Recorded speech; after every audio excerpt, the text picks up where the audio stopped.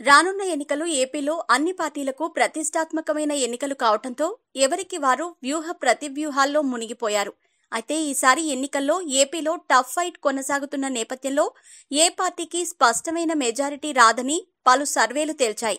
దీంతో పొత్తులతో ఎన్నికలకు వెళ్ళాలని టీడీపీ జనసేన స్నేహ హస్తాన్ని కోరుతోంది. అయితే వైఎస్ జగన్ మాత్రం పొత్తుల విషయంలో తన వైఖరిని తెలియజేశారు రానున్న ఎన్నికల్లో ఎవరితోనూ పొత్తులుండవని వైసీపీ అధినేత జగన్ స్పష్టం చేశారు. మాటలు నమ్మి ఎన్నికల ముందు పొత్తులు పెట్టుకుంటే మోసపోతామని తెలిపారు. ఇరవై ఐదు ఎంపీ సీట్లు ప్రజలు మన పార్టీకి ఇస్తారని కేంద్రంలో ఏ పార్టీకి పూర్తి మెజార్టీ రాదని హంగ్ వచ్చే అవకాశం ఉందని అన్నారు. ప్రత్యేక హోదా వస్తుంది రైల్వే జోన్ కూడా వస్తుంది.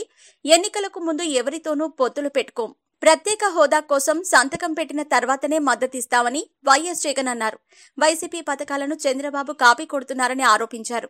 రాష్ట్ర విభజన సందర్భంగా నమోదైన కేసుల ఎత్తివేతలోనూ చంద్రబాబు పక్షపాతం చూపారని అన్నారు.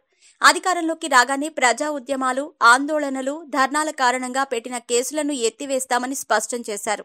ప్రభుత్వ పథకాలను డోర్ డెలివరీ చేసేందుకు ప్రతి యాభై కుటుంబాలకు ఐదు వేల జీతంతో ఒకరిని నియమిస్తామన్నారు.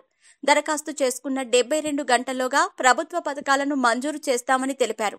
వైఎస్ఆర్ చేయూత ద్వారా నలభై ఐదేళ్ళు దాటిన మహిళలకు ఆర్థిక భరోసా కల్పిస్తామని వైఎస్ జగన్ హామీ ఇచ్చారు.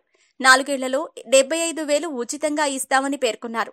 గ్రామ సెక్రటేరియట్ ద్వారా పరిపాలనలో విప్లవాత్మక మార్పులు తీసుకొస్తామని తెలిపారు. కియా ఫ్యాక్టరీ ఘనత చంద్రబాబు తీసుకున్నా సరే గాని అందులో ఐదు శాతం ఉద్యోగాలు కూడా స్థానికులకు ఇవ్వకపోవటం బాధాకరమన్నారు. తాము అధికారంలోకి వచ్చిన తర్వాత ఏర్పాటైన ఏర్పాటు కానున్న పరిశ్రమల్లో డెబ్బై ఐదు శాతం ఉద్యోగాలు స్థానికులకే ఇవ్వాలని తొలి అసెంబ్లీ సమావేశంలోనే చట్టం తెస్తామని పేర్కొన్నారు.